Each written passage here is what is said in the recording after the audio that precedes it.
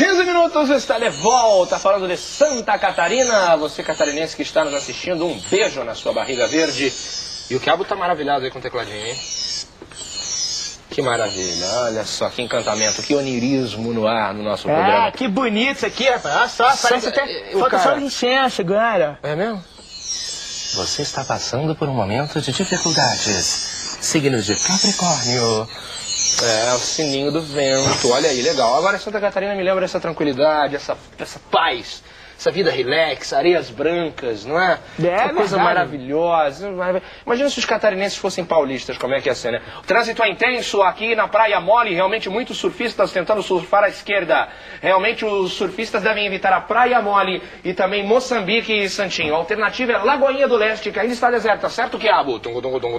É isso aí, rapaz. Eu concordo com tudo que você falou aí sobre a cidade. Rádio Gatinha. É, realmente, vamos ouvir os nossos é, motoristas por onde eles estão.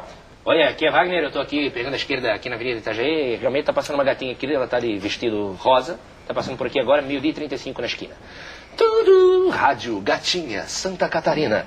Alô, quem tá falando aqui é o Carlos. É, eu tô aqui, né, chegando no aeroporto, aqui na zona sul de Floripa, e tem duas gatinhas passando de mão dada. Tá? O motorista que está passando vale a pena pegar aqui a Avenida do Aeroporto Acesso, pode fazer o retorno por trás do embarque, que é a gatinha que está realmente valendo. Tum, rádio, gatinha, Santa Catarina. E agora, por que não, cara? Eu fiquei com vontade de fazer, tipo, me deu vontade de fazer o funk do Gustavo Kirten. Então vamos lá, rapaz.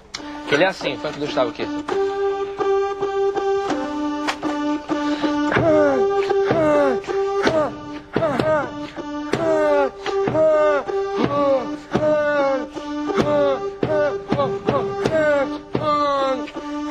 Olha a gatinha, hein? Vai dar.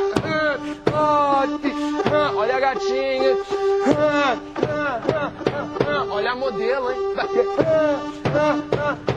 Parou, tá chovendo e tá.